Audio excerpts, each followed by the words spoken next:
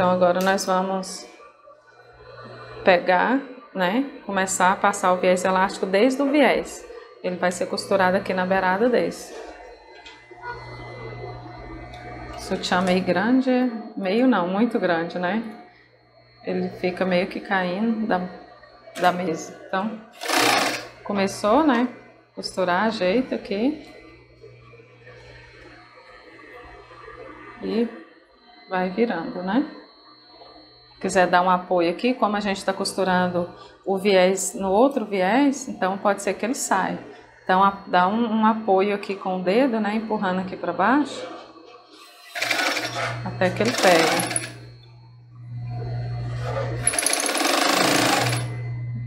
Aí ele vai costurar um viés no outro. Agora sempre jogando para cá. Agora eu vou colocar o meu bojo do lado avesso. E tomar cuidado para a ponta do, do arco não, não atrapalhar aqui para não quebrar a agulha, né?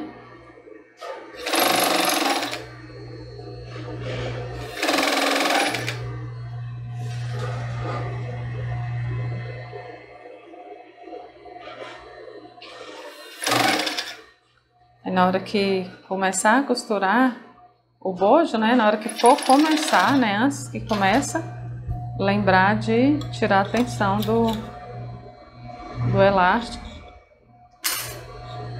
E agora de empurrar aqui para baixo. Agora precisa empurrar um pouco.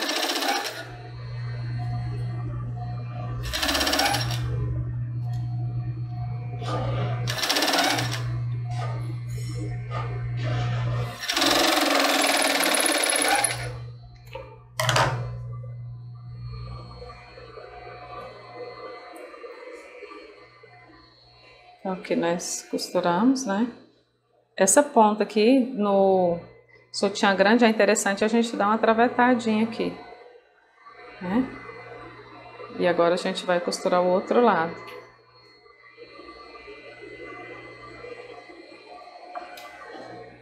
O outro lado começando do bojo, né?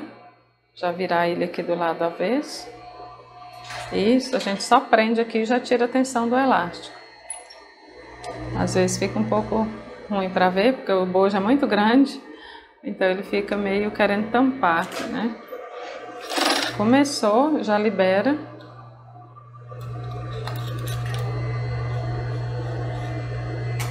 Já libera um pedaço de elástico sem atenção, né?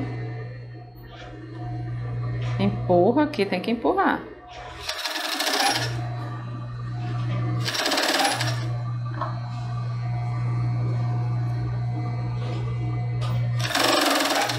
Terminou, se sobrou aqui, a gente puxa, né? Se sobrou elástico sem atenção, né? A gente puxa voltando ele, né? E aqui dá continuidade.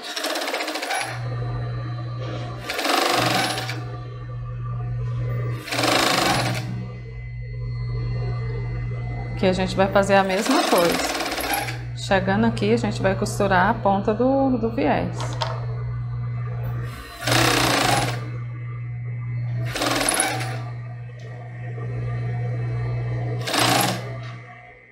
Aqui.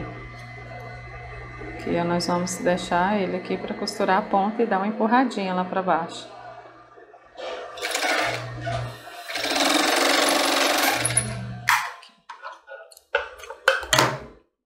Aqui. Essas partes tem que terminar aqui, vou cortar esse, essa sobra, né?